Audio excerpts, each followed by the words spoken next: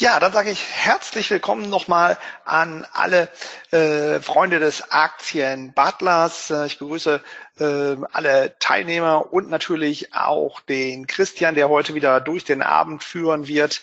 Ähm, wir haben ja eine hochvolatile Phase, gerade seit dem Zinsentscheid in der letzten Woche.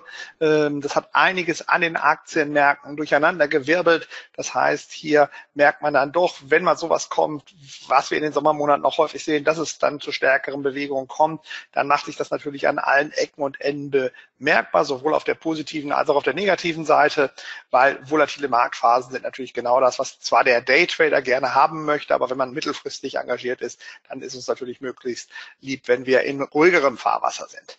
Bevor wir starten und der Christian gleich einiges erzählt, hier noch kurz der Risikohinweis, den kennt ihr ja von allen meinen Wochenausblicken oder sonstigen äh, Veranstaltungen, lasse ich auch noch einen kurzen Moment hier eingeblendet und begrüße dann erst einmal recht herzlich den Christian.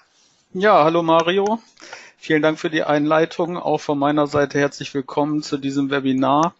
Äh, es geht um die Tretbesprechung der Trades, die wir gemacht haben im Juli. Und wie Mario schon sagte, ja, schauen wir uns an, ähm, wie der Juli äh, auch für uns gelaufen ist. Gut, dann würde ich sagen, äh, übergebe ich auch das Monitorbild sofort an dich, dass wir hier gar nicht erst viel Zeit verstreichen lassen, so dass wir mal einen Einblick bekommen, wie ist der Juli gelaufen und natürlich gehen wir dann auch noch auf Fragen von euch ein. Das heißt, wenn ihr Fragen habt, dann einfach kurz in den Chat und wir werden immer wieder in den kurzen Pausen dann eure Fragen beantworten. Du musst nur noch den äh, kurz bestätigen, Christian, dass wir dein Monitorbild sehen. Jawohl, da ist es. Und dann kann es auch losgehen. Also, ihr seht die PowerPoint. Okay, gut. Das sehe ich jetzt auch. Gut. Nochmal herzlich willkommen zur Trade-Besprechung Juli. Ähm, ich möchte äh, die Agenda geringfügig ändern gegenüber dem letzten Mal. Wir schauen uns mal an, wie die Statistik des Aktienbutlers bis Ende Juni 2019 gelaufen ist. Äh, aus meiner Sicht kann man nach einem halben Jahr auch durchaus mal ein Resümee ziehen. Äh, gehen dann weiter, ähm, wie beim letzten Mal, schauen uns die Ausgangssituation für Juli 2019 an. Ähm, gehen danach auf die Übersicht, also welche Trades haben wir gemacht, äh, wie war das Ergebnis und äh, dann nochmal äh, etwas spezieller auf die einzelnen Trades. Wie sah die Auswertung im Aktienbutler aus? Wie sind wir in die Aktie reingekommen? Wie haben wir sie verwaltet und wie sind wir letztendlich aus der Aktie auch wieder rausgekommen? Und natürlich mache ich alle alle paar Aktien auch mal im Break, so dass wir eure Fragen beantworten können. So, die Statistik des Aktienbutlers 2019 sieht super aus. Also Januar äh, war schon mega. Im Mai äh, haben wir das höchste Ergebnis äh, erzielt, was wir äh, je erreicht haben. Ähm, insofern können wir sagen, bis äh, zur Hälfte 2019 liegen wir mit 26 Prozent äh, ja schon fast im, im Schnitt äh, von dem, was wir die letzten Jahre geschafft haben. Ähm, natürlich kommt jetzt das Ergebnis vom Juli noch dazu. Da seid ihr sicherlich alle sehr gespannt. Ähm, und äh, Ziel sollte natürlich sein, in 2019 einfach von der Volatilität, die Mario angesprochen hat, äh, durchaus zu profitieren. Ja, das Ganze nochmal äh, auch als Graphen für denjenigen, der einfach große Zahlen gerne mag. Äh, insgesamt äh, sind die einzelnen Werte pro Monat für mich interessanter als dieses, äh, diese aufgerechnete Grafik. Ähm, Ausgangssituation im Juni. Ich hatte, ich hatte seinerzeit äh, vor dem Sommer einen Blog äh, geschrieben, ähm, der auf die Saisonalität äh, äh, im Sommer abzielte. Und da könnt ihr auch nachschauen, der Blog ist, äh, ist im Portal des Aktienbutlers äh, hinterlegt. Äh, dort war es so, dass wir im Juni ein, eigentlich fallende Kurse sehen sollten, im Juli dagegen steigende Kurse und im August wieder fallende Kurse. Äh, der Juni ist jetzt nicht so gelaufen. Ähm, wir haben dort steigende Kurse gehabt ähm, und der Juli ähm, sollte eigentlich steigende Kurse bringen. Soweit zur Saisonalität. Ja, das ist übrigens der Blogbeitrag, falls ihr euch den nochmal anschauen wollt, vom 2. Juni äh, am Beispiel des DAXes. Ähm, für die Charts, äh, die Ausgangssituation äh, im FDAX ist letztendlich folgende. Der Juni äh, beginnt äh, letztendlich hier an dieser starken Reversal-Kerze und ähm, von da an kann man schon sagen, dass der DAX einen neuen Aufwärtstrend gestartet hat. Ähm, genau das gleiche Bild finden wir auch äh, im S&P letztendlich wieder, so dass unsere unsere ähm, Voraussetzungen oder die Ausgangssituation für den Juli saisonal äh, Long Setup ähm, eigentlich bringen sollte und auch äh, von der Chartseite die Long Trades besser funktionieren sollten als die Short Trades. Ja, Termine im Juli gab es auch, nämlich eine FED-Sitzung am 31.07. Die ist für uns aber nicht ganz so interessant, ähm, weil sie halt wie gesagt am Ende des Anlagezeitraums liegt und wir dort gar keine Trades mehr äh, hatten. Gut, dann steige ich direkt ein und zwar mit den Achso, eine Frage habe ich, äh, habe ich vorher noch. Und zwar hatte ich sowohl einen Blogbeitrag geschrieben, äh, in dem man sich für das Webinar, also für dieses anmelden konnte und nochmal eine E-Mail geschickt. Könnt ihr bitte in den Chat reinschreiben, ob ihr euch über Blog oder über Mail letztendlich für dieses Webinar angemeldet habt? Dann äh, weiß ich, was ich fürs äh, nächste Mal dann priorisieren soll. Okay, so wie es aussieht, alle per E-Mail. Gut. Dann werde ich auch nächstes Mal eine E-Mail schicken, äh, dann aber sicherlich etwas früher, als ich das jetzt getan habe. Okay, schauen wir uns die Performance äh, des Aktienbutlers im Juli an. Wir haben ähm, das ähm, sage ich auch immer gerne dazu, natürlich äh, vor, äh, vor Start des Julis äh, die Auswertung des Aktienbutlers angeschaut und äh, wieder genauso viele Long- wie Short-Trades versucht zu finden. Da der Juli saisonal longlastig ist, war es auch einfacher, Long Trades zu finden als Short Trades. Und letztendlich sind wir auch mehr Long Trades eingegangen, weil wir äh, für unsere Trades ja immer ein Setup äh, benötigen. Und dieses Setup nach einem langen Juni, der wirklich gut gelaufen ist, ähm, eher die Long-Seite ähm, befürwortet als die Short-Seite. Nichtsdestotrotz haben wir auch ein paar Short-Trades gefunden und ich möchte ähm, jetzt auf die einzelnen Werte der Reihe nach eingehen fangen wir mit SRT3 an, eine Sartorius. Sartorius äh, Long. Ähm, Performance im Durchschnitt 6,91 ähm, unter Berücksichtigung von ähm, Stop Loss und Take Profit, also maximaler Drawdown und maximaler Profit, der vom System vorgegeben ist. Äh, Anlagezeitraum 3.7. bis 29.7. Trefferquote 80 Prozent, Standardabweichung liegt für uns auch noch im guten Bereich. Und wenn wir uns die Historie anschauen, äh, finden wir natürlich ähm, zwei Verlustjahre, sonst wäre die Trefferquote ja nicht bei 80 Prozent. Ähm, aber auch in den letzten Jahren 2018, 2015, also eigentlich von 2014 bis 2018 die Performance durchaus bestätigt, was für uns erstmal ein gutes Zeichen ist. Wir haben ähm, zudem ähm, ein Stop-Loss bei 8 Prozent. Vielleicht für die, die das letzte Mal nicht mitbekommen haben, wenn man sich die Historie anschaut, äh, und dann einfach mal einen Schnitt bei 8% macht, dann hätte man im Jahr 2009 äh, hier diesen Drawdown von 13,81% nicht mitgemacht, sondern wäre bei 8% ausgestoppt worden. Ähm, das ist sogar noch besser als die Performance äh, in dem Jahr zum Ende des Anlagezeitraumes. Ähm, deswegen bieten sich hier an dieser Stelle die 8% ähm, Stop-Loss an. Dann schauen wir uns einmal an, wie dieser Trade äh, letztendlich im Chart auch gelaufen ist. Dazu wechsle ich einmal hierhin. So, wie wir sehen können, sind wir am 3. Juli war der Einstieg äh, nach Anlagezeitraum. Wir sind über dem Hoch vom 2. Juli äh, letztendlich eingestiegen.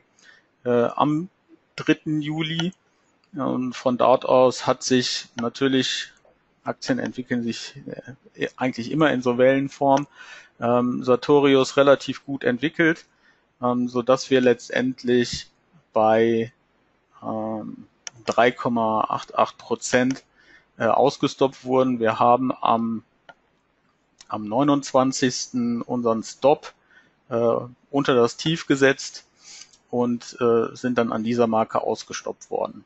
Man hätte natürlich auch zum Anlagezeitraum hier wirklich zum Schluss äh, rausgehen können.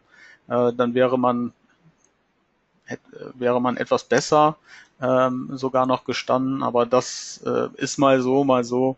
Insofern ähm, sind wir hier mit diesem Trade eigentlich ganz zufrieden. Gut, gehen wir zur nächsten. Bechtle ebenfalls ein Long. Dazu kurz die ähm, Auswertungen.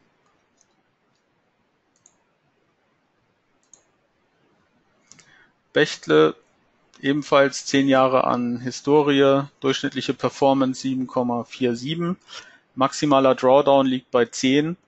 Ähm, das ist äh, für den einen oder anderen schon viel zu hoch.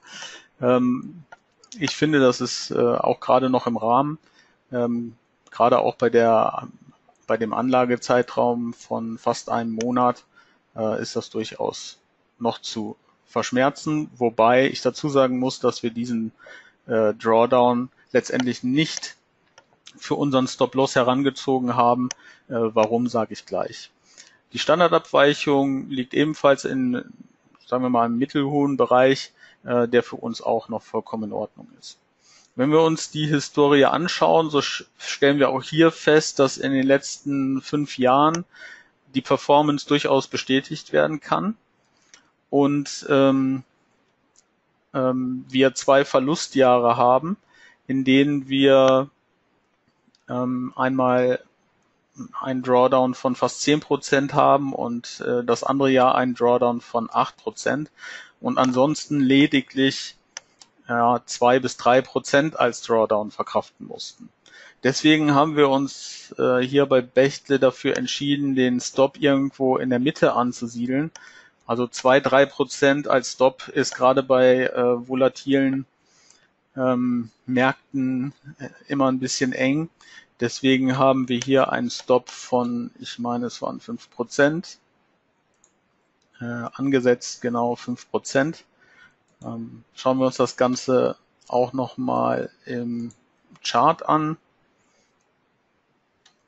Dann können wir sehen, dass wir ähm, über dem ähm, Hoch des 2. Juli letztendlich in den Trade äh, reingekommen sind. Ähm, es hat, äh, wenn ich richtig informiert bin, die eigentlich der 1. Juli nicht gereicht, um reinzukommen. Und äh, über dem Hoch des 2. Julis äh, sind wir dann letztendlich in den Trade gekommen. Allerdings ähm, könnte man sagen, dass das jetzt endlich hier ja so eine Art Fehlausbruch ist, der sich sofort äh, im Prinzip gegen uns ähm, entschieden hat und äh, dann auch am 18. Juli ähm, zu einem ähm, Stop-Loss von 4,94 Prozent geführt hat. Ähm, hätten wir den Stop nicht angepasst, dann wäre unsere Performance oder unser Verlust hier nochmal ein Prozent geringer gewesen. Ähm, letztendlich, ähm, ja, weiß man es hinterher immer besser. Ähm, aber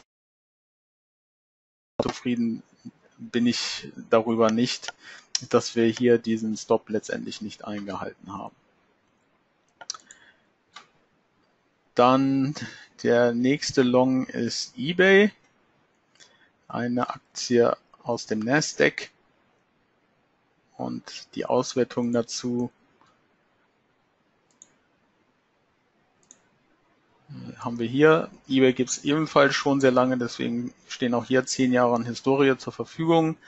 Performance 9,676, eine sehr hohe Performance für den Anlagezeitraum.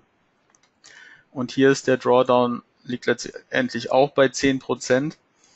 Ähm, Standardabweichung ist schon ein bisschen hoch. Ist die Frage, ob man diesen Wert tatsächlich hätte mit aufnehmen müssen. Ähm, wie ich das aber schon häufiger mal gesagt habe, wir mischen in unserem marktneutralen Setup auch immer Aktien mit ein, ähm, die ein bisschen volatiler sind, äh, weil wo das Risiko etwas höher ist, ist natürlich die Chance auch höher. Und äh, wenn man das letztendlich in den Einklang bringt, dann, ähm, dann hat man doch auch ein ausgewogenes Setup an Aktien. Ähm, hier könnte man natürlich jetzt auch ähm, herangehen und sagen, gut, ähm, wo sind, äh, könnte man hier nicht einen anderen Stop nehmen? Ja, aber letztendlich sind, ist der größte Drawdown hier aufgetreten, wo wir doch im Gewinn liegen.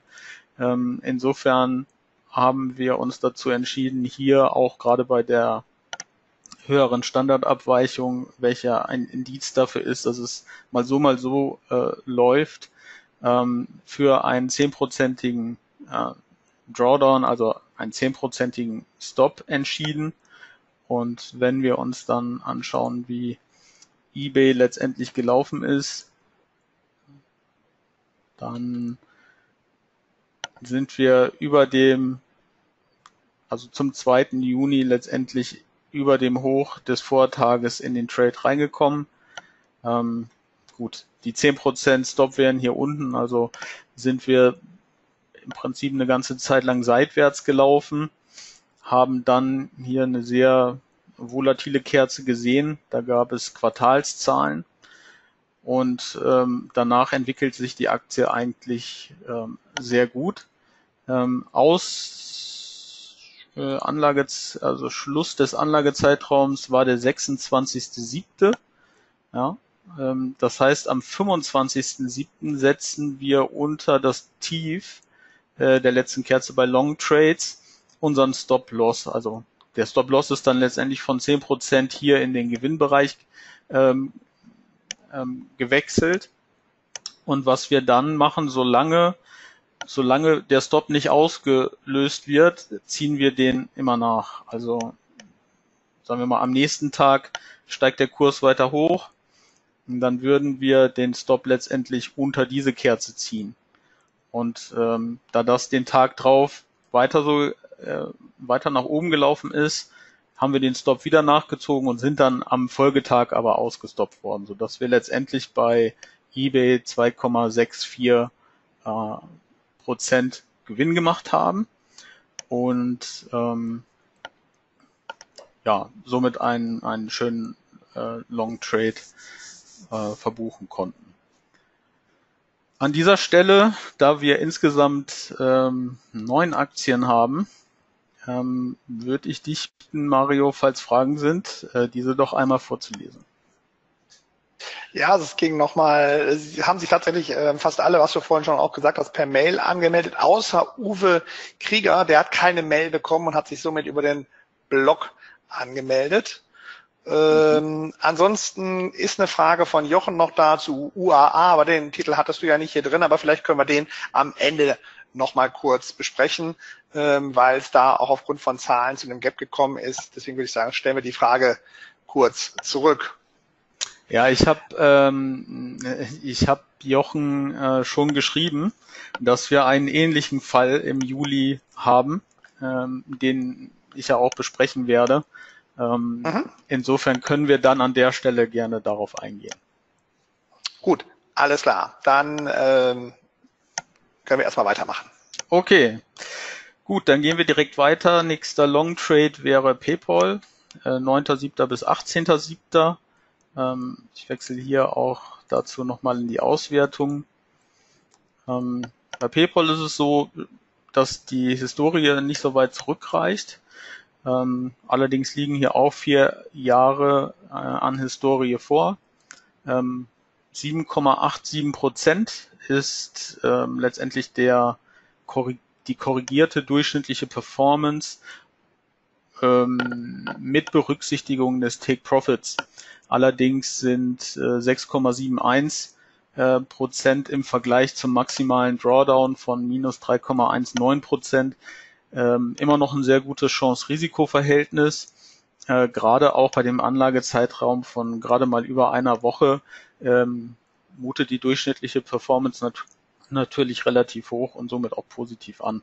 Ähm, ein Blick auf die Historie bringt auch eigentlich nicht, ähm, also keine Zweifel. Ähm, die Standardabweichung ist mit 3,19 relativ gering. Also hier haben wir es nicht mit einer äh, großen äh, Streuung zu tun, ähm, so dass wir uns letztendlich für PayPal entschieden haben.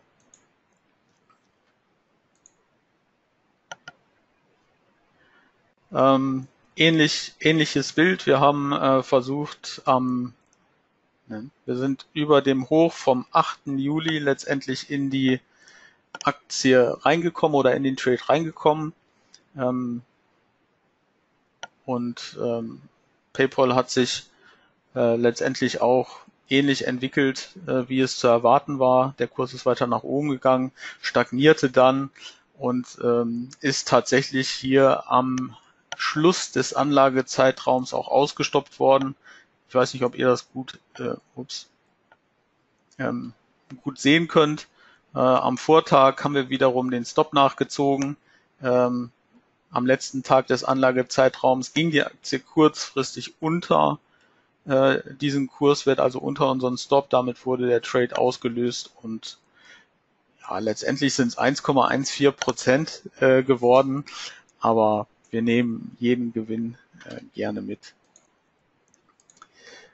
Zur nächsten Aktie, genau, kommen wir bei Netflix an. Äh, wie man hier schon sehen kann, der größte Verlierer.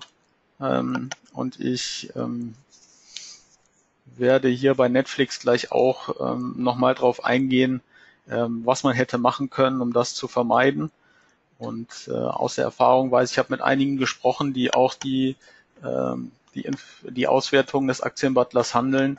Ähm, sie haben es anders gemacht als ich und das ist vielleicht auch genau der richtige Weg, ähm, um eben solche Verluste ähm, letztendlich zu verhindern. Eins muss ich allerdings dazu sagen, wenn man das Risiko äh, nicht eingeht, hat man natürlich auch nicht die Chance auf äh, äh, letztendlich sehr gute Ergebnisse.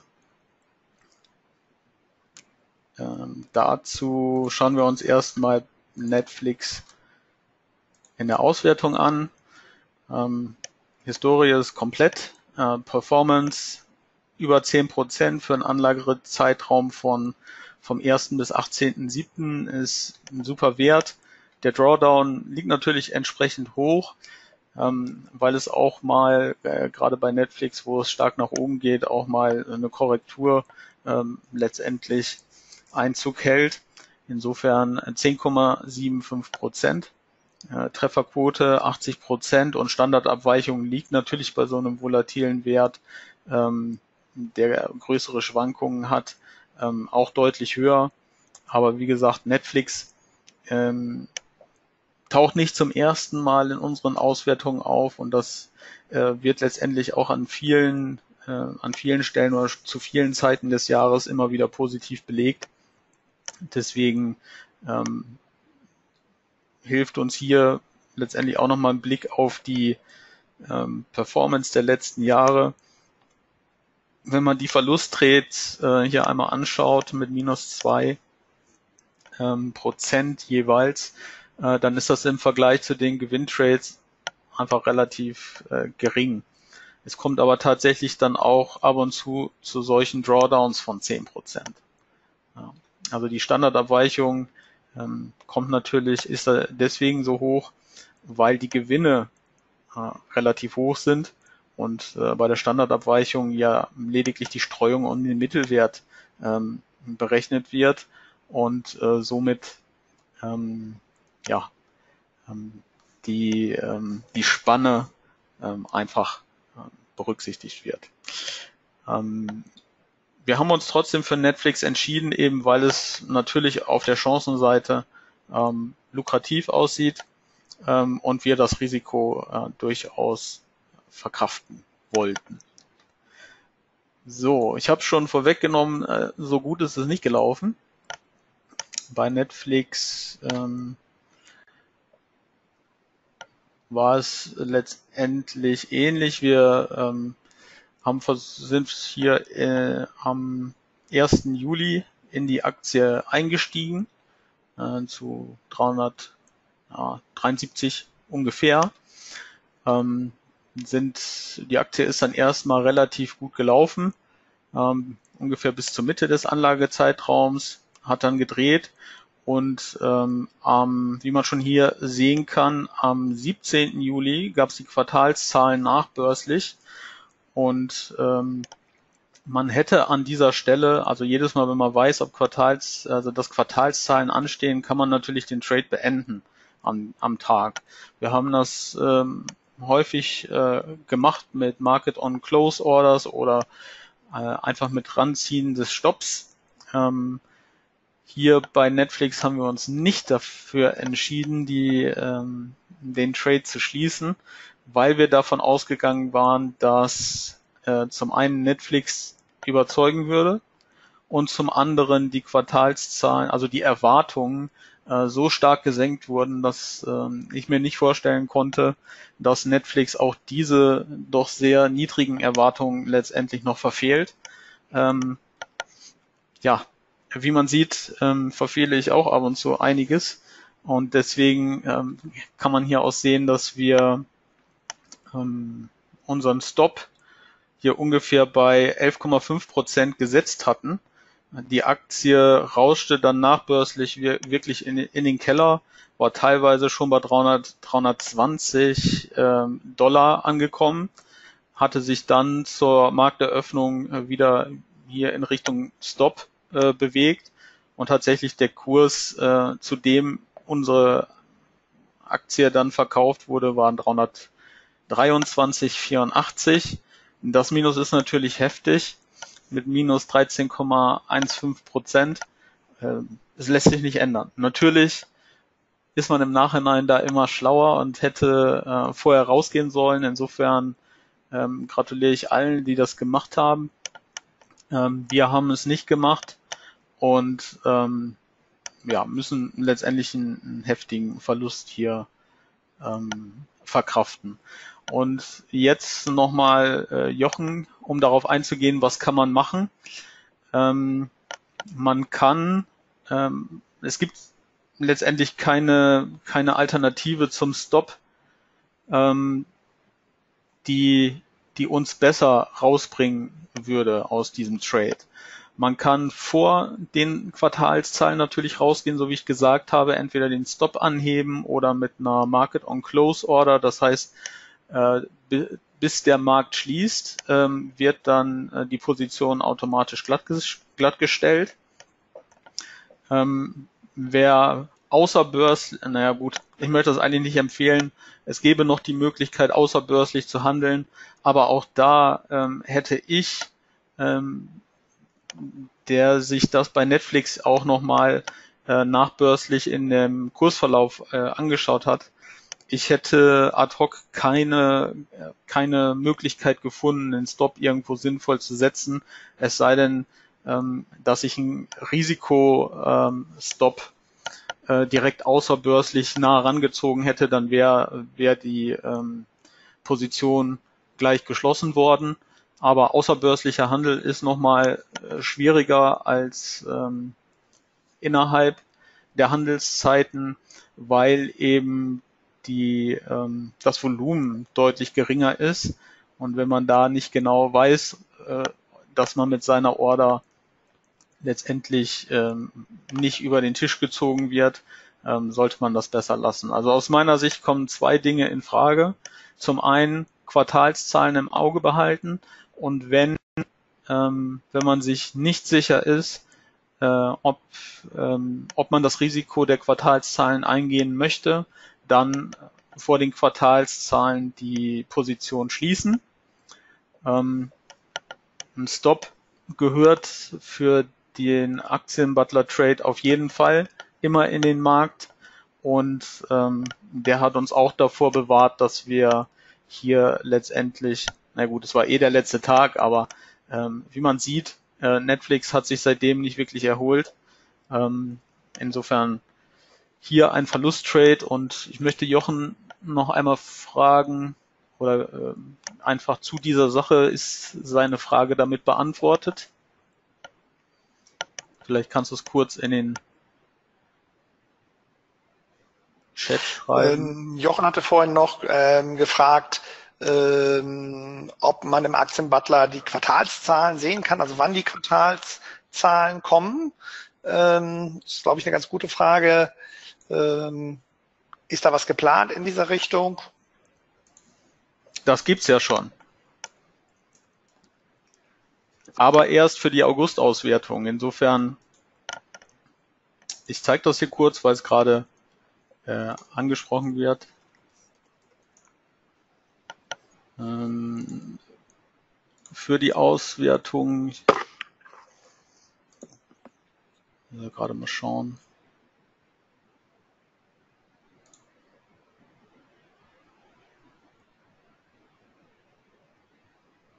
Na.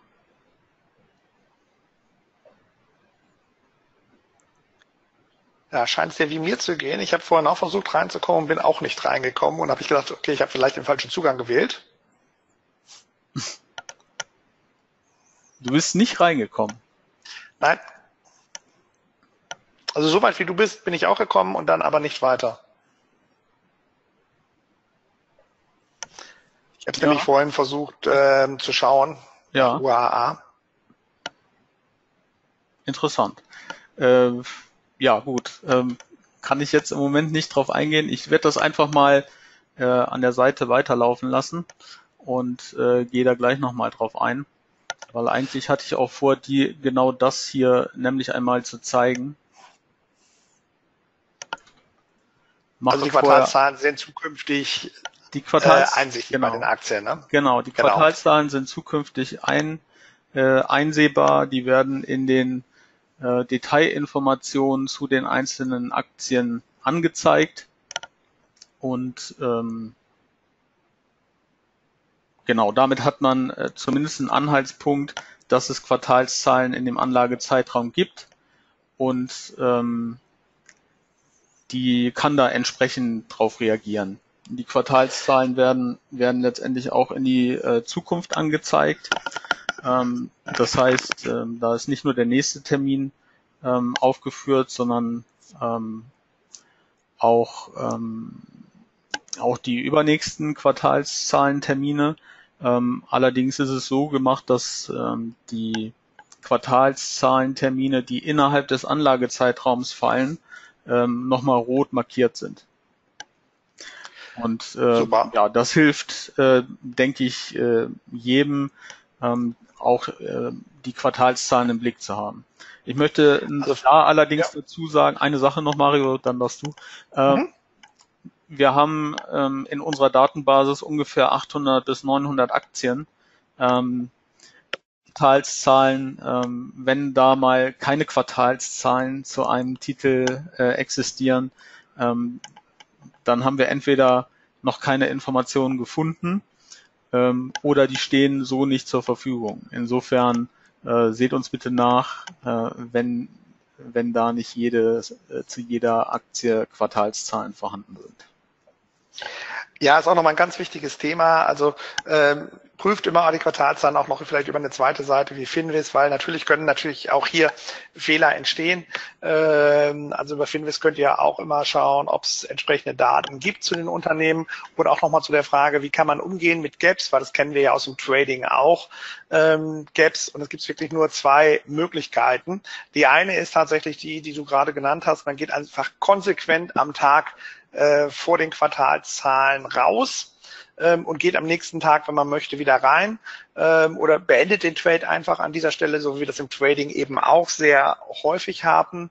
Ähm, Mitarbeiter von mir bleibt beispielsweise immer drinne, weil es gibt eine Statistik, ähm, die zeigt langfristig ist es immer besser, wenn die Quartalszahlen kommen, drinnen zu bleiben langfristig gesehen. Wenn man alle Trades nimmt, ähm, die im S&P 500 oder im Nasdaq vorkommen.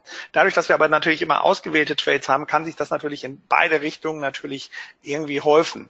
Also rein statistisch gesehen, wenn man alle äh, Titel nimmt, ähm, wenn Gaps entstehen, würde es bedeuten, wenn man ähm, rausgeht vor den Quartalszahlen und am Tag danach wieder rein, würde man weniger Performance machen, als wenn man immer drinnen bleibt. Aber, und das ist das, was äh, wir ja auch gesehen haben, sowohl äh, bei dem Trades von Christian als auch das, was Jochen gerade schreibt, es kann auch mal zu großen Gaps kommen. Und das ist in den USA eben nicht ungewöhnlich. Deswegen ist es ja auch wichtig, dass man das Risk Management ganz oben auf dem Plan stehen hat. Das heißt, wir haben ja auch zehn Trades, die der Christian hier ähm, immer hat. Das heißt, die Positionsgröße, ich sage jetzt einfach mal ein Beispiel, man hat ein ähm, 100.000 Euro Konto, davon werden 50.000 beispielsweise über den Aktienbutler verwaltet, dann ist jede Position etwa 5.000 Euro groß. Wenn es dann mal zu einem Abschlag von 20 Prozent kommt, ist das zwar ärgerlich, bedeutet aber auf das Gesamtportfolio äh, für den Aktienbutler eben zwei Prozent und auf die gesamten 100.000 halt ein Prozent. Ähm, ist es trotzdem ärgerlich und ich selber gehe auch zu Quartalszahlen raus, aber ich weiß zum Beispiel, dass im Screening-Dienst ähm, ein Mitarbeiter von mir, der den Screening-Dienst sehr eng betreut, der bleibt zum Beispiel immer drinnen. Das ist auch der äh, Mitarbeiter, der immer kurze Updates macht. Also es ist halt wirklich sehr unterschiedlich. Der eine Trader macht es so, der andere Trader macht es so. Und äh, am Ende ähm, ich fühle mich wirklich immer sicherer damit, wenn ich vor den Quartalszahlen rausgehe. Ähm, man kann es ein bisschen auch abhängig machen von der Marktphase. Also wenn wir eine Marktphase haben, wo die Unternehmen eher mit positiven Quartalszahlen glänzen und der Markt läuft nach oben, dass man dann drin bleibt und wenn es nicht der Fall ist, äh, man ist in einer unruhigen Marktphase, dann nicht. Aber also ich bin immer eher für so eine strikte Geschichte. Also entweder man geht konsequent raus auch wenn man weiß, dass die Performance dadurch etwas schlechter wird oder umgekehrt, man sagt, ich bleibe immer drinne, weil ich weiß, langfristig auf Sicht von fünf oder zehn Jahren ist das erfolgreicher. Man muss dann damit leben, dass das da einfach auch mal zu größeren äh, Gaps kommt.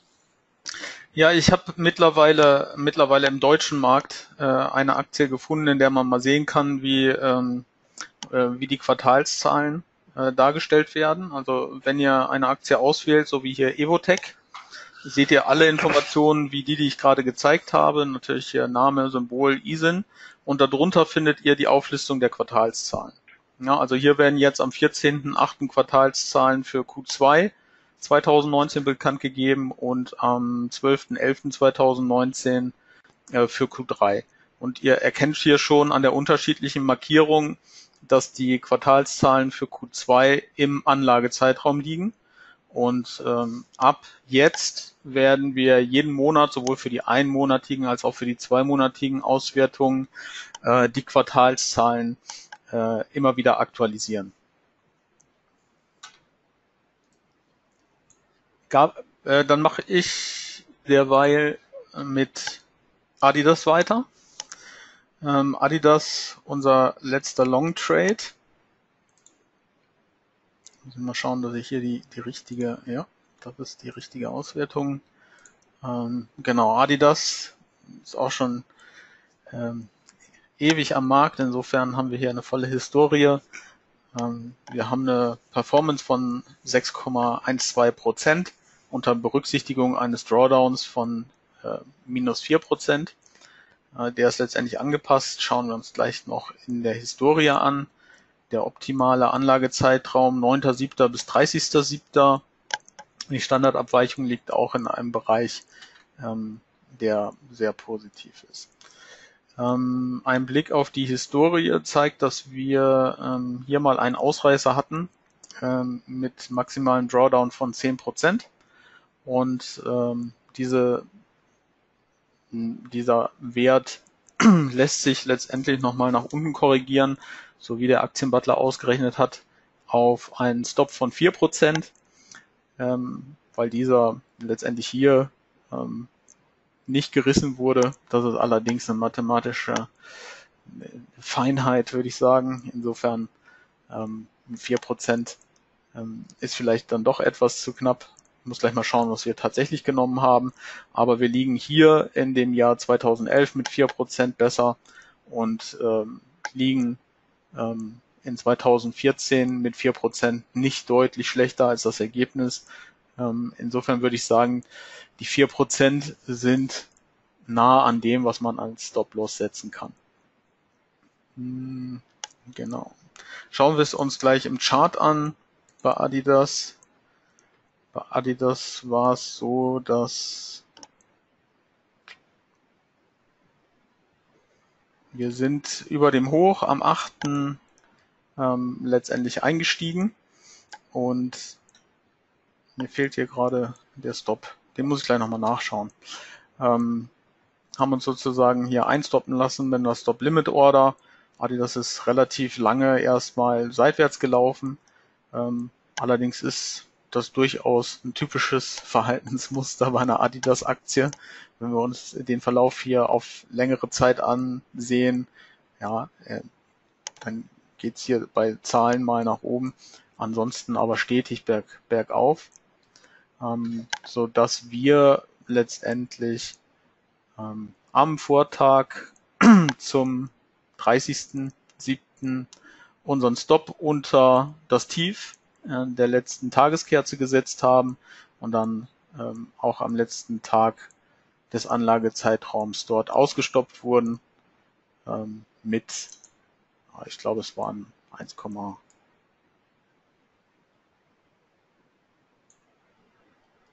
1,5 oder 1,6 Prozent. Also ähm, letztendlich ein Gewinntrade, allerdings ähm, eher kleinerer Natur. Okay. Gab es zwischendurch Fragen, auf die wir eingehen können?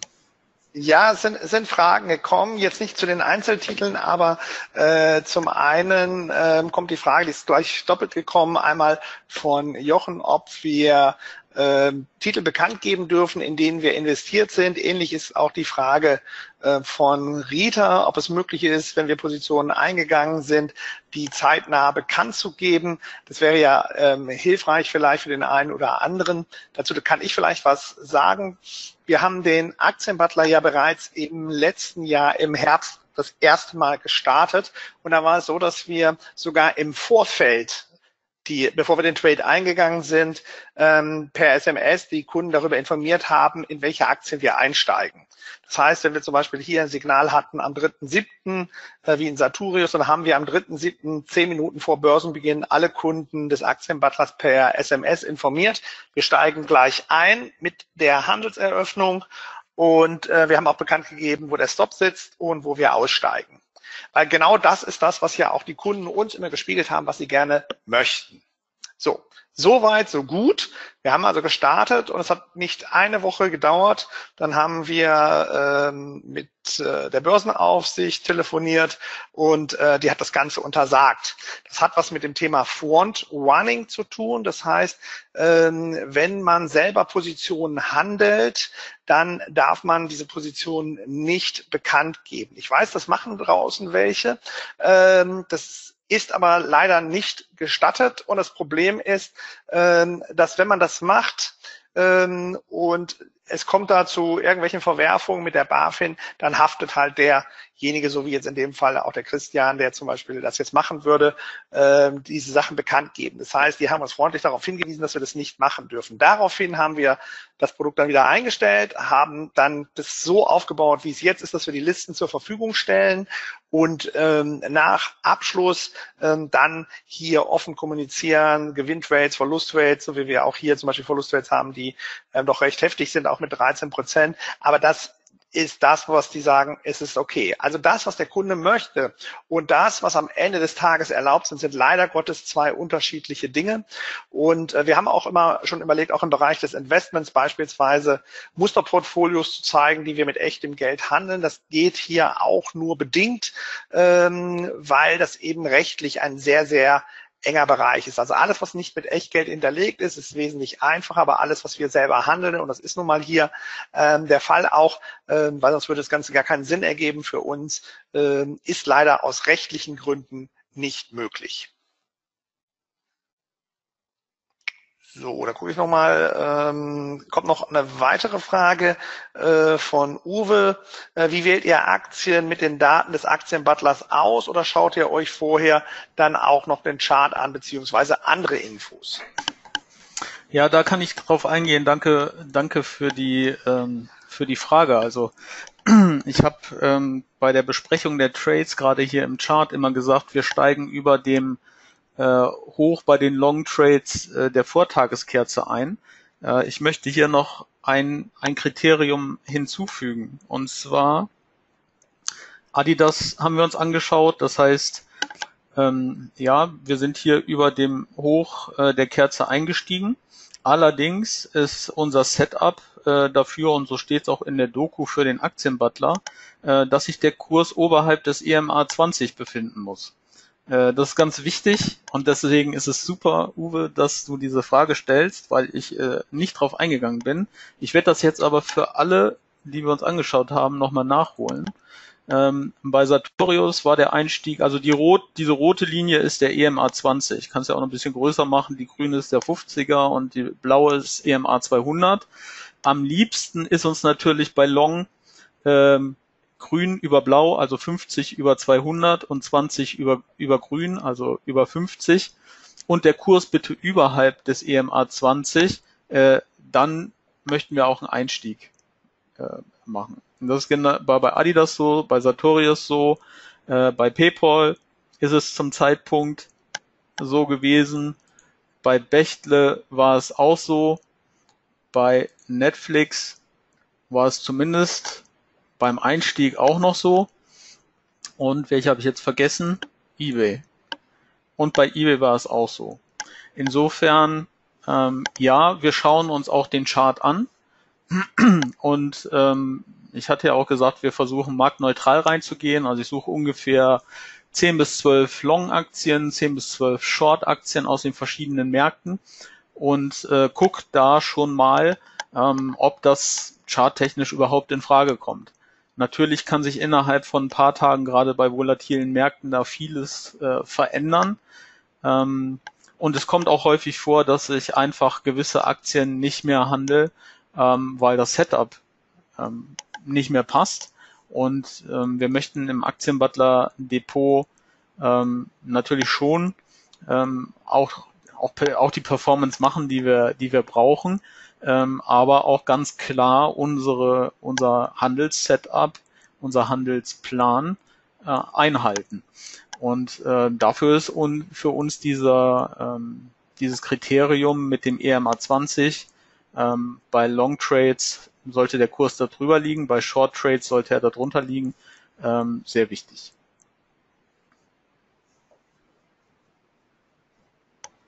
Gab es noch weitere Fragen, Mario?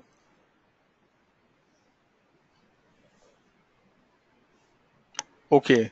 Mario, ja, äh, es war noch eine Frage. Doch, ähm, ich bin da. Ich habe nur den roten Knopf nicht so schnell mit meiner Maus erreichen können. Äh, und zwar hatte Jochen vorher noch gefragt, äh, bezieht sich jetzt allerdings auf die Liste von August, ähm, ob du die Liste für August nochmal angepasst hast. Ähm, die war doch schon mal länger, oder? Fragezeichen.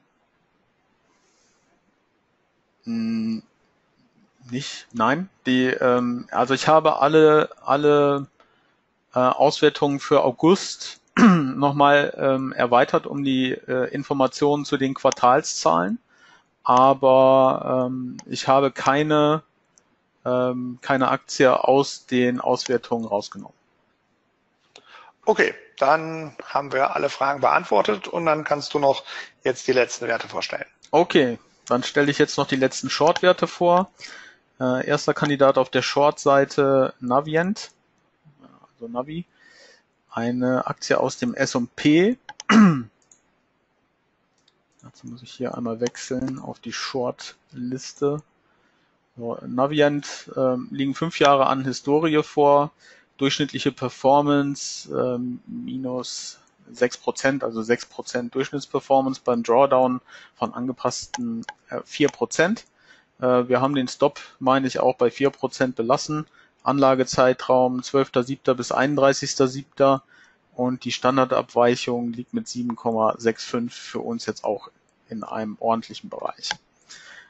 Schauen wir uns hierzu äh, den Chart an. Da möchte ich äh, jetzt als erstes darauf eingehen, dass wir ähm, oft in der Short-Richtung natürlich hier vor, vor dem ähm, unter dem Tief der Vortageskerze letztendlich in die in den ähm, in die Aktie einsteigen möchten und schauen auch hier, dass ähm, der Kurs sich zum Zeitpunkt, wo wir in den Trade reinkommen, unter dem EMA 20 befindet und äh, somit für uns das Setup auch ähm, auch in Ordnung ist.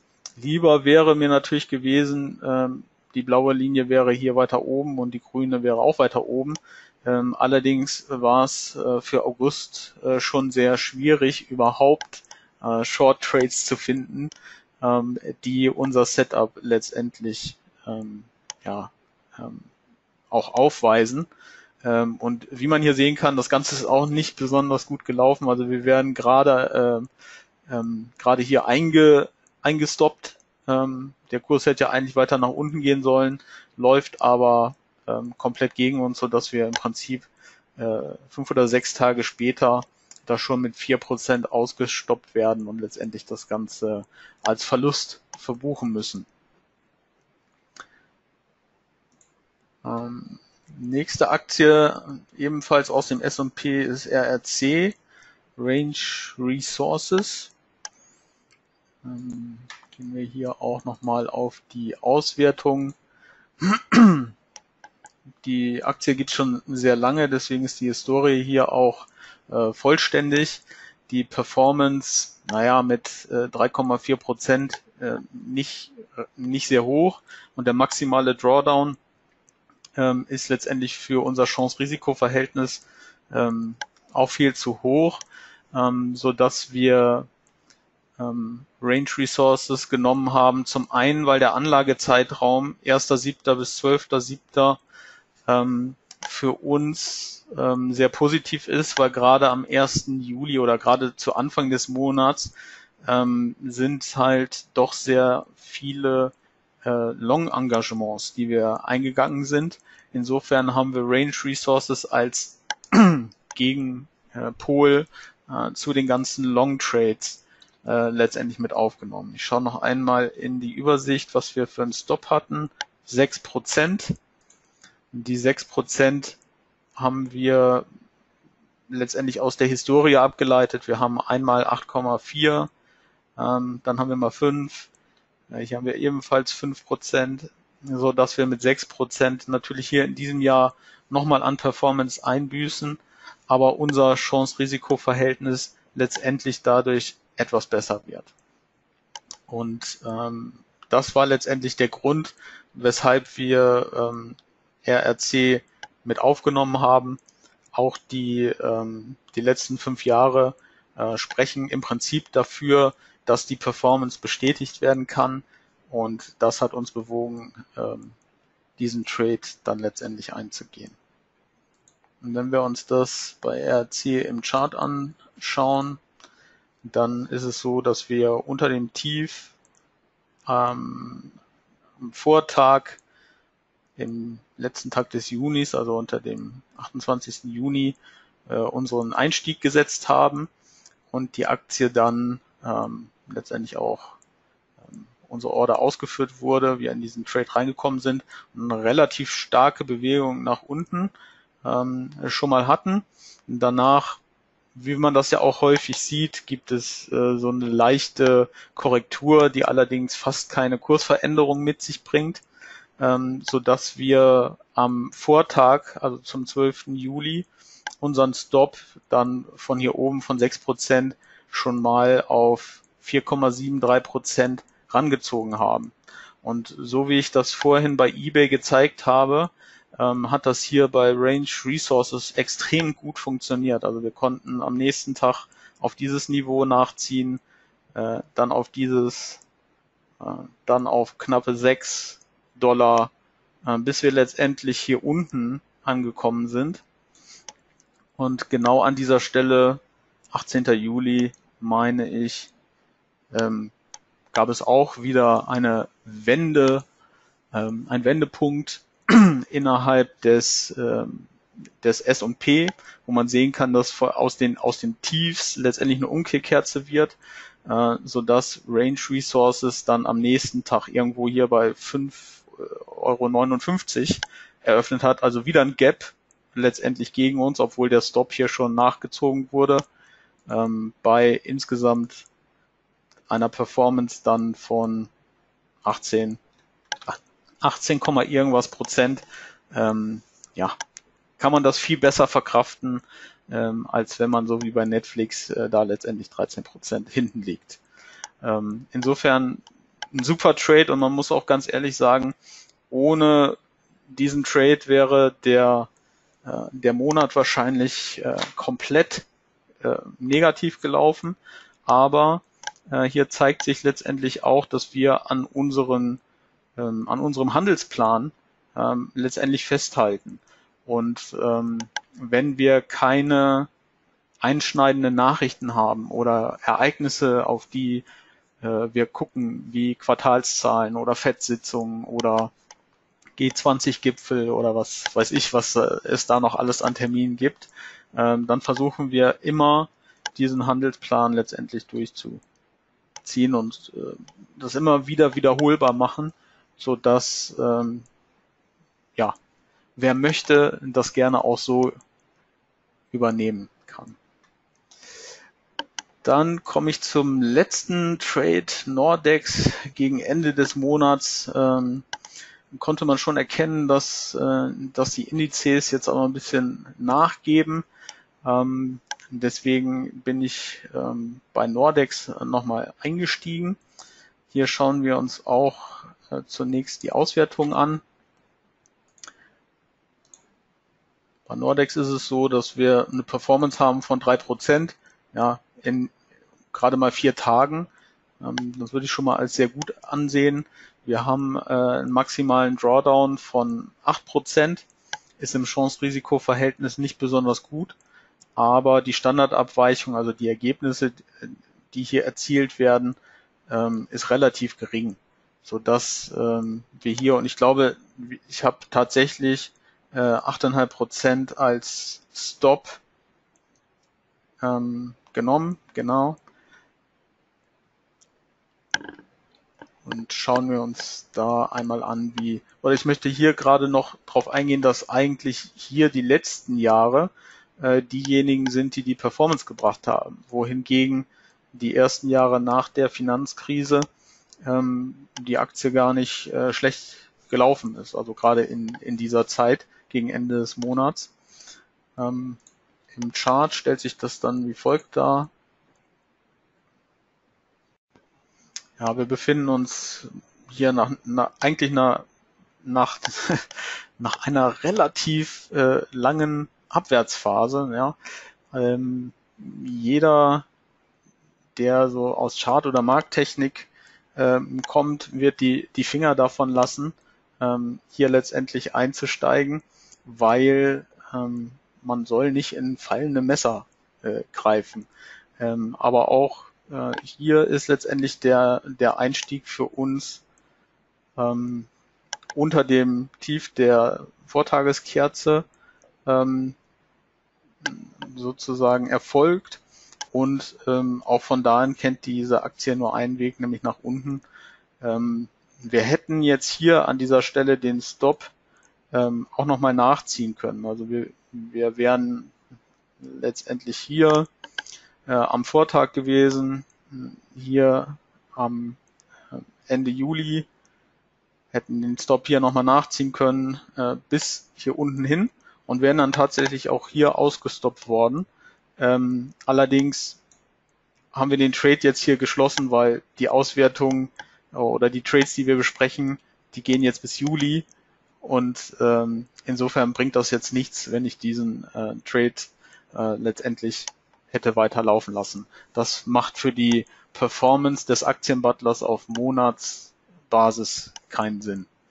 Insofern ähm, ja, auch nochmal gegen Ende des Monats ein äh, sehr schöner Trade, der uns auch nochmal über 8% äh, Gewinn eingebracht hat. Und ähm, dazu führt, dass wir letztendlich eine Gesamtperformance von 2,8 Prozent erreicht haben. Und wenn ihr äh, tatsächlich diese Short Trades ähm, einfach mal unberücksichtigt lasst, dann wäre ähm, das Ergebnis ähm, auch deutlich im Minus gewesen.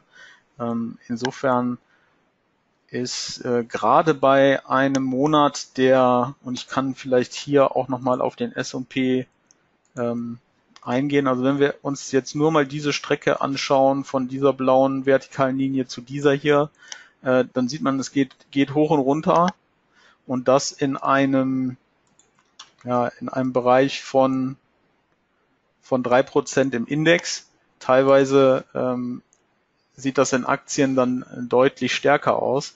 Aber hier hat man innerhalb eines Monats halt äh, Longphasen, dann hat man wieder Shortphasen und gegen Ende, naja, das wisst ihr selbst, wie es jetzt gelaufen ist, ähm, dann fällt es auch mal äh, ganz extrem und gerade in, in solchen Phasen ähm, kann man da natürlich super von profitieren. Okay, fürs erste hinsichtlich der Trade-Besprechung soll es das gewesen sein. Gut, dann komme ich noch auf ähm, zwei Fragen. Der Wolfgang fragte noch, ähm,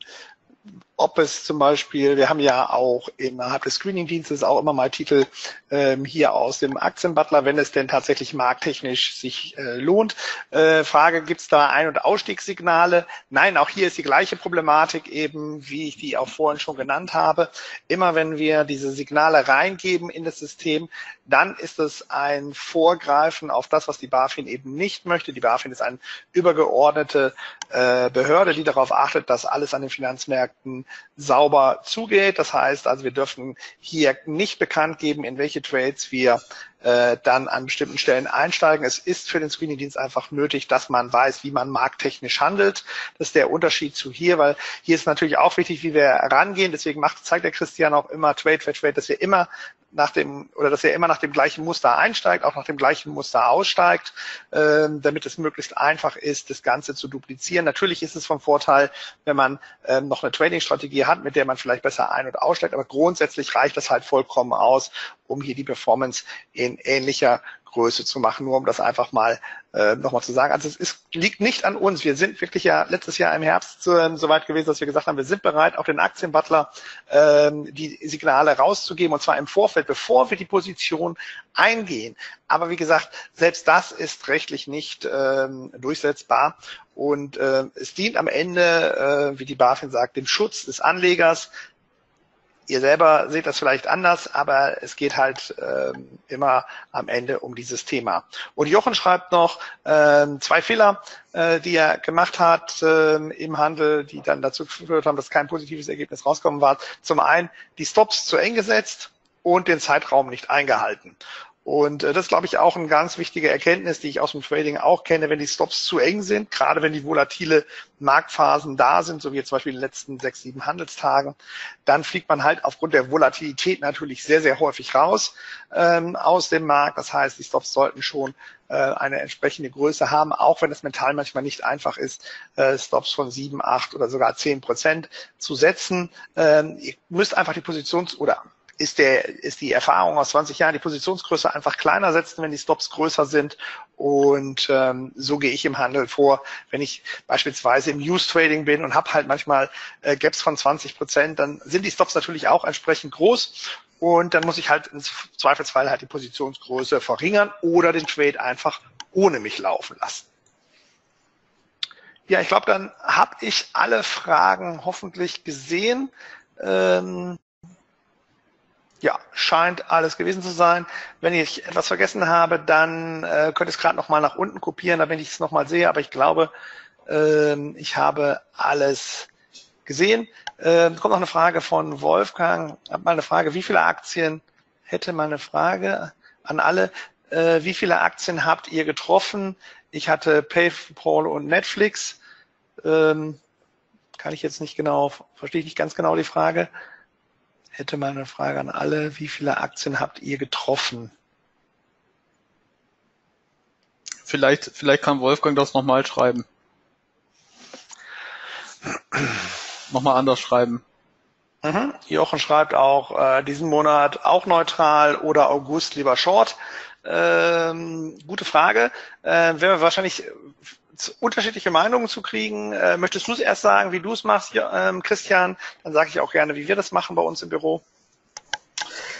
Ja, also ich äh, würde schon vorweggreifen für die Trade-Besprechung August.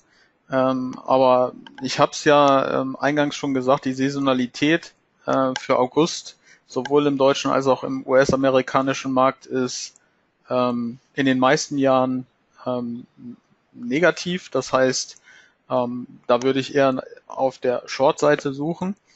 Ähm, nichtsdestotrotz muss ich aber ja auch ähm, ein Setup finden für Aktien, die sich ähm, für einen Short Trade eignen. Insofern habe ich für August äh, natürlich genauso viel Long wie Short ähm, Investments rausgesucht. Und ähm, ja, wenn man auf den Chart schaut, ähm, dann ergibt das zumindest im Moment ein Bild, ähm, ähm, wo, wo man Short äh, sozusagen hätte präferieren können mit den ersten Aktien. Ähm, und äh, dabei möchte ich es jetzt im Moment auch belassen, weil ich mich nicht so weit aus dem Fenster lehnen möchte. Gut, also ich kann es auch für uns sagen, ähm, aufgrund der saisonalen Statistik ähm, bin ich in den Sommermonaten eher immer auf der Short-Seite zu finden. Das heißt nicht, dass wir keine Longs haben, aber da ist die Quote eher 80-20 ähm, bei mir. Aber das, das, liegt einfach daran, dass ich natürlich, und das wissen ja auch alle, die, die bei mir auf äh, einem Trading- oder auch Investmentseminar waren, dass ich mich halt sehr stark an den Saisonalitäten orientiere. Ähm, wenn ich nicht genau weiß, was passiert, bin ich eben genau wie Christian eher marktneutral aufgestellt. Das hat auch ähm, Anfang des Jahres perfekt geklappt. Obwohl die Aktienmärkte nach oben gelaufen sind, bin ich mit meiner marktneutralen Strategie sehr gut gefahren, habe damit auch mindestens immer das äh, an Performance gemacht, was der Index gemacht hat und in einigen Monaten äh, äh, dann sogar mehr und in dem, im zweiten Quartal dann eben sehr stark longlastig, weil einfach auch ähm, mein Sechs-Phasen-Modell dann irgendwann natürlich auch auf grün gesprungen ist und wir dann eine starke Long-Seite hatten und so gut wie keine Shorts. Also das heißt, bei mir ist es nochmal ein bisschen anders, weil ich einfach auch unter äh, technischen Gesichtspunkten halt schaue, was passiert hier und ähm, dann die Statistik der Saisonalitäten halt sehr stark mitgewichte. Gut, jetzt haben wir auch noch die Nachfrage von Wolfgang. Und zwar wollte er gerne wissen äh, von den Teilnehmern, die jetzt hier mit dabei sind, von der Liste, die du hier hast, von den Aktien, ja. äh, die du ausgesucht hast, wie viele äh, die anderen Teilnehmer davon gehandelt haben. Also von diesen, ich glaube, zehn Werte waren es, zwei, vier, neun, sechs, neun. Ähm, wenn ihr das vielleicht noch kurz äh, kommentiert, wie viel von den neuen Werten hattet ihr äh, ausgesucht, ähm, dann haben, können wir das Wolfgang auch noch gleich mitteilen. Ich finde es auch immer spannend, nach welchen Kriterien jeder Einzelne natürlich die Werte auswählt. Wir selber schauen ja auch immer bei uns äh, im Büro immer sehr genau auf die Liste und äh, wägen immer die Für und Widers ab. Ähm, wir haben natürlich, das, so ist es ja auch im Vorfeld gekommen, äh, auch mit Christian gemerkt, dass wir ähnlich ticken. Also gerade in marktneutralen Phasen wählen wir wirklich fast ähnlich aus, steigen ähnlich ein, ähnlich aus. Ähm, in solchen Phasen wie äh, Anfang des Jahres, wie gesagt, sehr stark marktneutral, dann zum Sommer hin eher longlastig und jetzt August und September eher ähm, wieder auf der anderen Seite. Aber am Ende äh, macht das keinen großen Unterschied. Ich handle wirklich sehr gerne marktneutral, weil dann ist es egal, ob die Märkte steigen oder fallen. Ähm, man zieht fast immer eine positive Performance. Okay, ich sehe hier ja. immer zwei, zwei bis drei Werte äh, haben die meisten ausgehabt. Allerdings haben sich jetzt auch nur zwei Mann gemeldet. Also ähm, von daher, die meisten haben sich jetzt hier nicht geoutet. Ähm, deswegen ist die Zahl auch nicht repräsentativ. Es wäre auch ja nicht gut, wenn jeder alle gehabt hätte. Ja, es waren ja auch durchaus welche dabei, die man nicht äh, hätte handeln müssen. Äh, ich habe noch eine, eine Sache, die ich noch vorstellen möchte zum Thema, ob wir, äh, zum Thema Frontrunning eigentlich.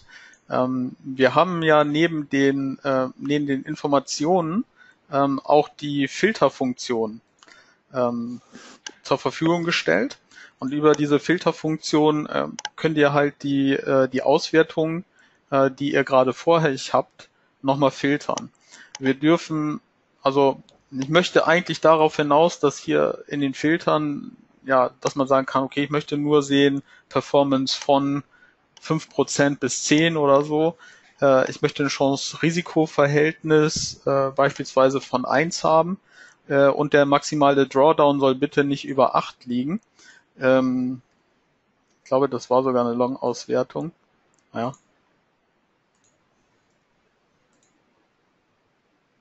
Ja, irgendwo habe ich einen Filter gesetzt, den ich jetzt hier nicht rauskriege. So. Ja, ähm, ich könnte, also was wir nicht dürfen, ist ja zu sagen, Aktie, diese Aktien äh, würden wir äh, im August handeln. Ähm, ich denke, und Mario, vielleicht kannst du das auch nochmal kommentieren. Ich denke, wir könnten aber schon, und ähm, das würde ich mir auch anschauen, äh, schon auch sagen, wie wir die Auswertung eventuell filtern, um dann letztendlich zu unserer Liste zu kommen. Ja, ich denke, wenn man jetzt nicht genau den Einstieg, es ging ja in erster Linie darum, dass wir sagen, wann steigen wir wo in die einzelnen Titel ein. Aber wenn du jetzt sagst, du kannst das mit dem Filter, dass man so eine grobe Liste hat, nach der du die Kriterien ähm, festlegst, dann hat man zumindest vielleicht eine eingeschränktere Liste. Ne? Ja, also dann hätte man eine eingeschränktere Liste, ohne ähm, dass, dass wir jetzt genau sagen, es ist diese oder jene Aktie. Aber ähm, weil ich hier schon, schon sehe, okay, ähm, wäre interessant, ist eine super Idee. Ähm, dafür muss ich aber ähm, selber noch einige Tests machen, ob wir das wirklich verlässlich ähm, ähm, rausgeben können. Ähm, und ähm, möchte darum bitten, da mir doch noch ein paar Monate Zeit zu geben, bis, äh, bis ich das mal machen kann. Ja, Finde ich auf jeden Fall eine gesagt, gute Idee, da den ja. Test nochmal zu machen. Ähm, bist du schon drauf eingegangen mit der Auswertung, dass man jetzt nicht nur den einen Monat sieht? Ach so, ja, man kann ähm, jetzt äh, im deutschen und amerikanischen Markt auch Auswertungen über zwei Monate äh, sich anschauen. Die sind immer hier gekennzeichnet, auch mit M2. Und wenn wir jetzt mal für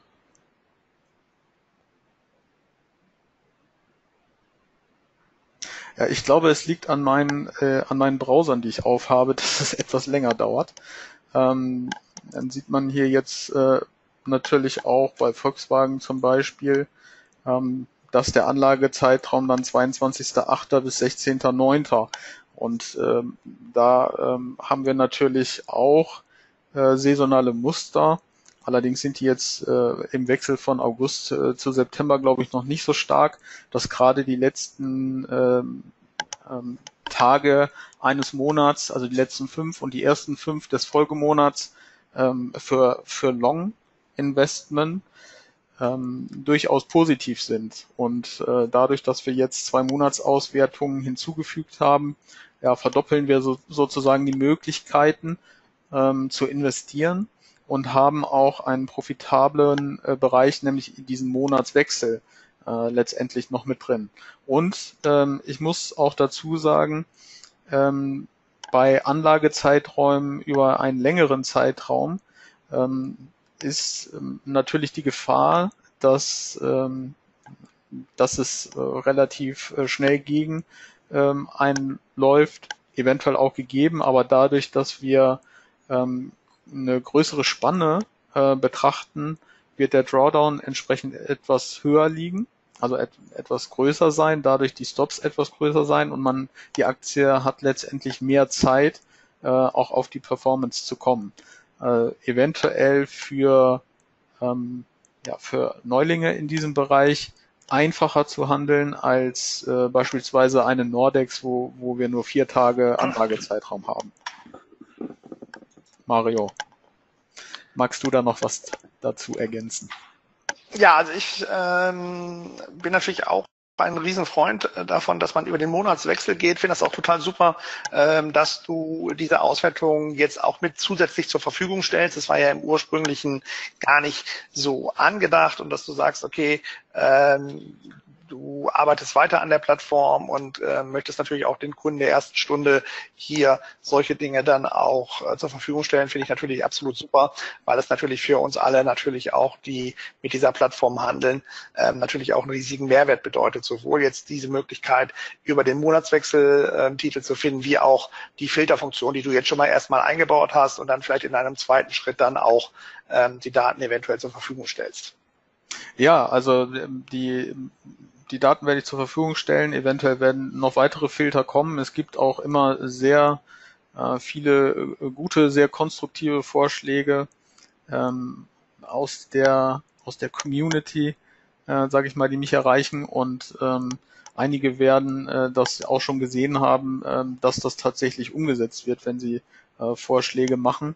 Insofern äh, darum bitte ich und ähm, möchte auch nochmal äh, darauf hinweisen, dass ähm, für alle äh, Kunden äh, des Aktienbutlers ähm, die diese Ergänzung natürlich äh, ohne zusätzliche Kosten ähm, möglich gemacht wurden.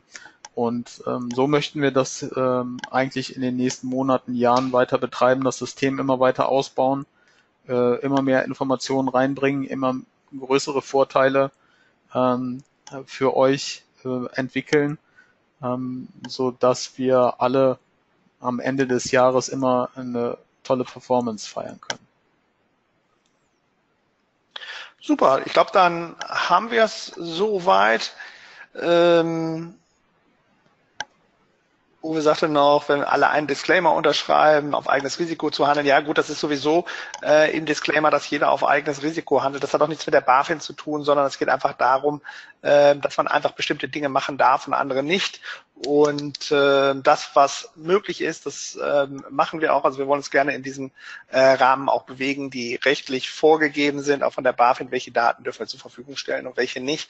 Und ähm, mit diesem Disclaimer, den haben wir, glaube ich, auch an jeder Stelle, die möglich ist, äh, hinterlegt. Ähm, ich denke, das ist auch üblich. Das habt ihr auch bei jedem Broker und auch bei uns äh, im Seminar oder in den anderen Veranstaltungen. Äh, da brauchen wir glaube ich, nichts weiter äh, zu machen. Ähm, ich denke, du denkst daran, äh, Daten im Vorfeld zur Verfügung zu stellen. Das hat mit dem Disclaimer nichts zu tun, weil man das einfach nicht machen darf aufgrund des Frontrunnings. Und ich weiß, es gibt draußen welche, die das machen, aber ich kann ja sagen, ich habe mit der BaFin sehr lange auch gesprochen und ähm, das wird irgendwann ähm, ja, für die Leute eben auch Konsequenzen haben. Ähm, es gibt nur bestimmte rechtliche äh, Rahmenbedingungen, wo das möglich ist, aber das trifft für die 90 Prozent derer, die das machen, eben nicht zu. Und ähm, das wollen wir halt nicht, weil wir wollen keinen Ärger mit einer Börsenaufsicht haben, weil das kann ganz schnell auch dazu führen, dass man seinen eigenen Handel so nicht weiter fortführen kann. Also von daher äh, ist es, glaube ich, auch im Interesse alle, dass wir uns alle an rechtliche Gegebenheiten halten. Ja, dann war es das von meiner Seite. Ich bedanke mich ganz herzlich bei dir, Christian, dass du äh, dir wieder die Zeit genommen hast, äh, hier uns äh, die Trades vorzustellen, wie du rangehst, damit auch der Lerneffekt einfach größer ist.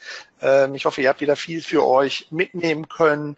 Ähm, ich verabschiede mich jetzt ähm, erstmal in den Sommerurlaub, bin erst wieder ab September wieder zurück. Wünsche euch allen eine coole Zeit. Vor allen Dingen ähm, achtet auf eure Position. Wir haben eine hohe Volatilität, also auch da ähm, immer aufpassen. Und ansonsten ähm, für alle, die, die auch in Urlaub fahren, natürlich einen schönen Urlaub und äh, viel Erfolg an den Märkten. Macht's gut, bis zum nächsten Mal. Tschüss. Ja, auch von meiner Seite, Mario, vielen Dank, äh, dass du als Moderator hier äh, durch dieses Webinar geführt hast. Ähm, möchte auch äh, nicht vergessen, dir einen schönen Urlaub zu wünschen. Äh, mach mal was anderes. Es gibt auch noch andere Sachen neben dem Trading. Ähm, bedanke mich bei allen, die am Webinar teilgenommen haben und äh, wünsche euch einfach super Trades im August, ähm, so dass wir im September ähm, bei der beim nächsten Webinar zur Trade-Besprechung ähm, letztendlich alle auch positive Rückmeldungen geben können ähm, zur Monatsperformance. Vielen Dank, wünsche euch einen schönen Abend und bis zum nächsten Mal.